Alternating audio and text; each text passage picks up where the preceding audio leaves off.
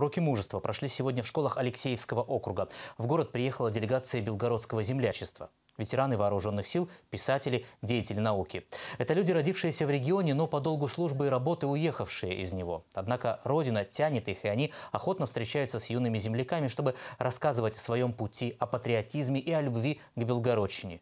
Многие из этих людей строят храмы в родных селах, обустраивают дороги, часто бывают в местах, где родились. Ну а основной темой сегодняшних встреч стала грядущая 75-я годовщина победы в Великой Отечественной войне.